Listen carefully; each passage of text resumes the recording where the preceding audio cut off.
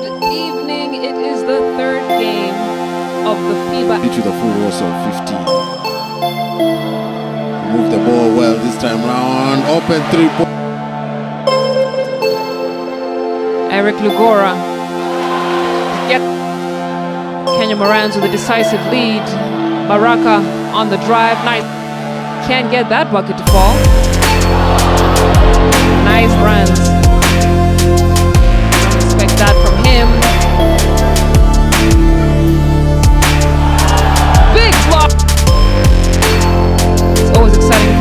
For me when Big is can shoot the three-point shot and what a putback. Thunder is the Kenya Premier League team that Griffin Ligare does. The game is not yet Oh, has potential have three guards. Such a nice shot. And Valentine about to put somebody on a poster. as the sunrise. Call him Mr. Clutch for not